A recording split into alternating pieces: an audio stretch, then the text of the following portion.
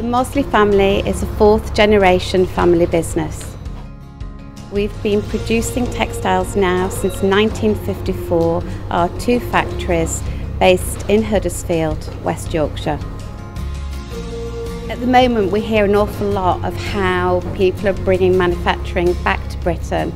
Well at Phoenox we're very proud to say that we actually never left. We produce rugs, carpets, bath sets, barrier mats and of course our gorgeous hug rugs. We have worked very hard to ensure our factory has zero landfill.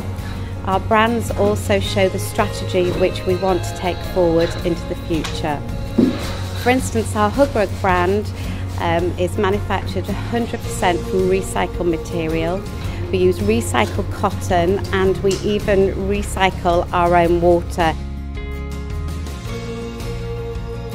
Our workforce are extremely important. We have such a power of skills and knowledge that won't be lost, that we'll be able to keep within the UK and follow on and so we could educate our next generation of people into textiles.